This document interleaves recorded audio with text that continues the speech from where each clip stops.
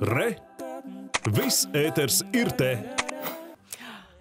Es šajā brīdī mazliet apskaužu visus kolēģus, kuri tieši šobrīd, tuvākajās minūtēs, nāks uz darbu, jo viņus tur sagaidīs uh, Latvijas televīzijas foijē dzīvā mūzika un vēl kāda dzīvā mūzika. Gustiņ, tu arī esi tur, tā kā es apskaužu arī tevi, principā.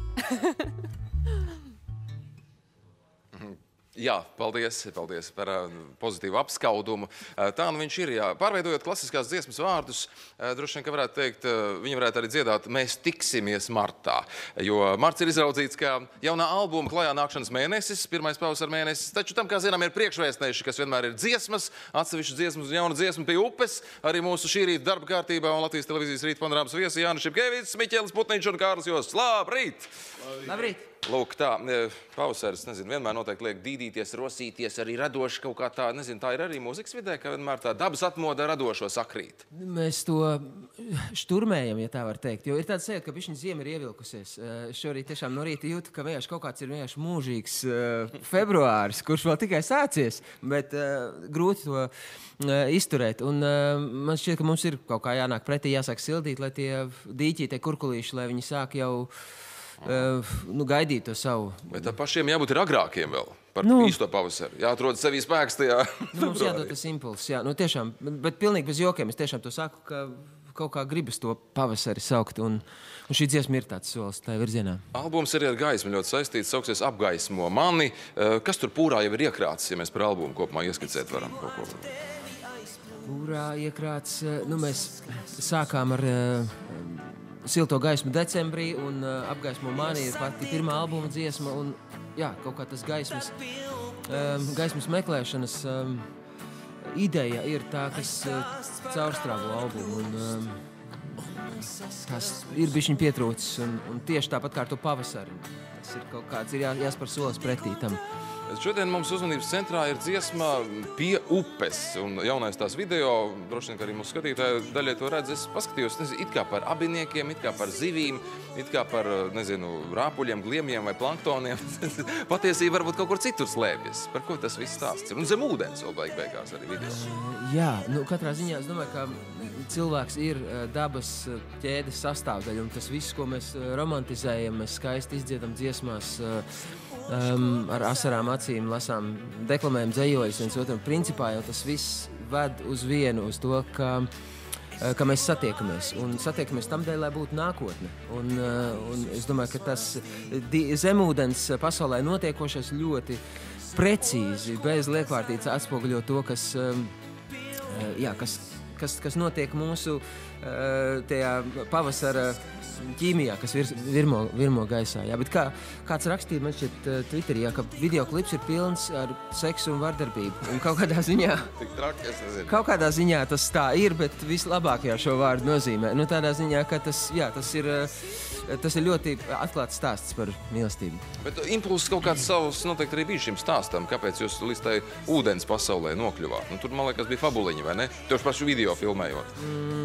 Uh, jā, uh, mēs ar Gati Zaķi, kas ir uh, šī albuma un, un principā lielākās daļas vispār, ko es muzikāli esmu darījis, mans uh, um, alfa, alfa un omega, omega blakus vienkārši padomu, pa, padomu dēļ, jebkurā situācijā.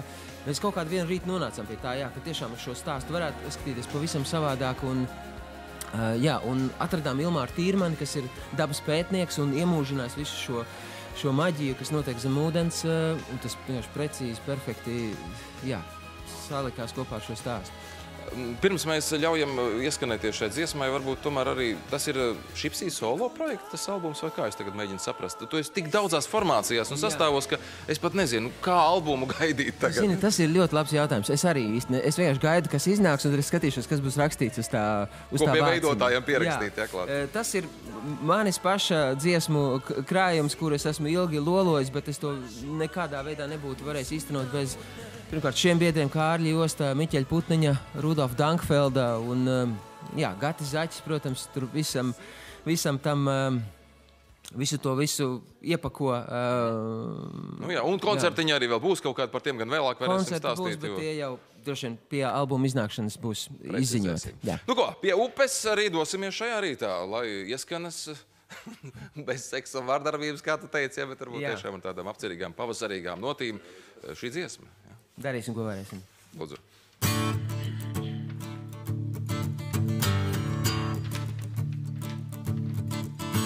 Ja satiekamies, tad pie upes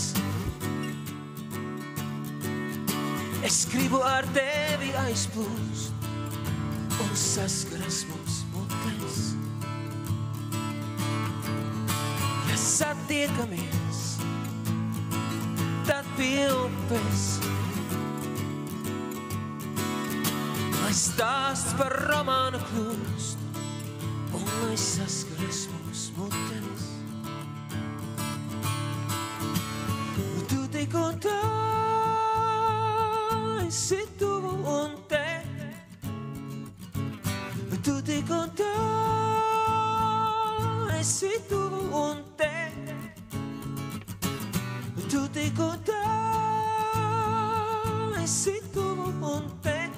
Joana e Ana Munso na corte.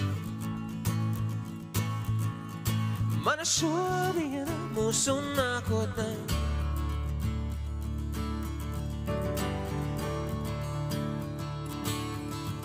Se hoje colocará, vive chupolas.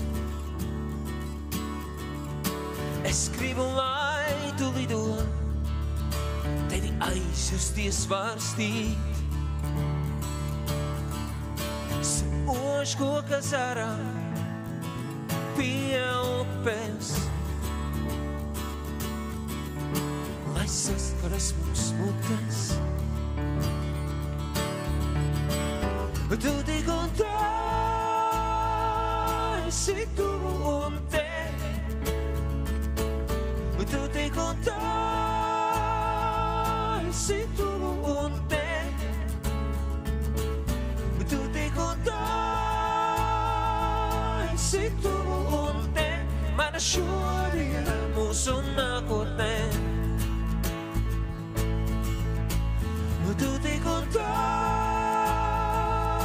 esi tuvu un te. Tu tik un tā esi tuvu un te. Tu tik un tā esi tuvu un te. Mana šodiena mūsu nākotnē. Mana šodiena mūsu nākotnē.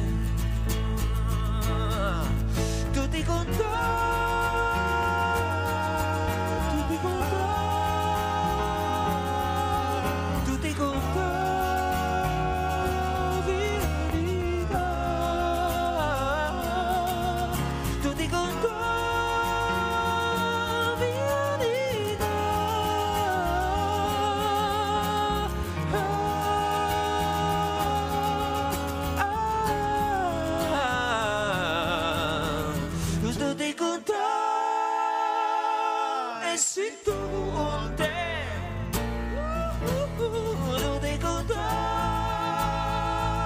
esi tuvu un te.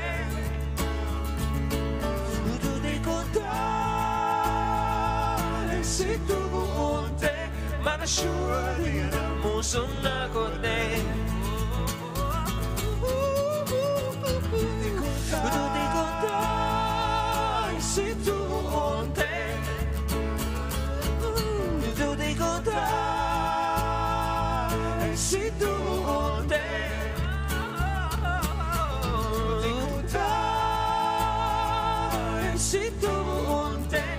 assurarina musunna kote mana assurarina musunna kote musunna kote musunna kote musunna kote Brīnišķīgi, paldies par eh, šo um, upi, jā, par vizuļojošu, guldzošo polifoniju. Tā arī varētu teikt eh, no kreisās uz labo.